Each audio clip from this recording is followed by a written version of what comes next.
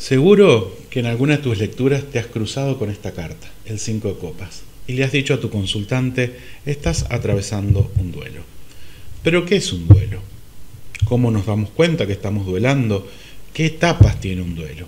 Si querés aprender un poco más sobre esto, te invito a mi ponencia práctica en el Congreso Internacional de Tarot de Barcelona en su formato online, desde el 3 al 10 de marzo de 2024.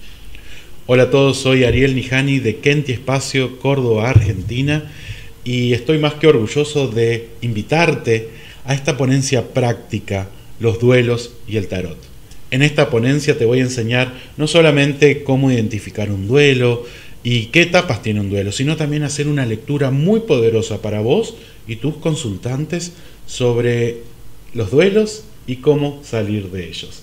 Así que te espero desde el 3 al 10 de marzo de 2024 en el Congreso Internacional de Tarot. Nos vemos. Chao, chao.